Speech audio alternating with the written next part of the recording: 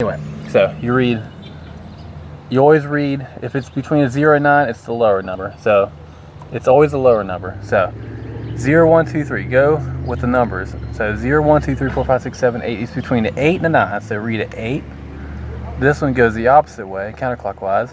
1, 2, 3, 4, 5. And it's after the 6 and 7, so it's a 6.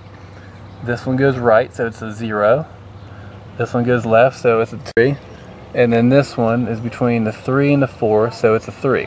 So this reads 8, 6, 86,023. One there, between you go follow the numbers. This goes clockwise, clockwise, counterclockwise, clockwise, and counterclockwise, and clockwise.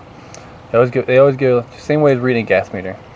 So you follow the numbers 1, 2, 3, 4, 5, 6, 7, 8, 9. Between 8 and 9, it's the lower number 8.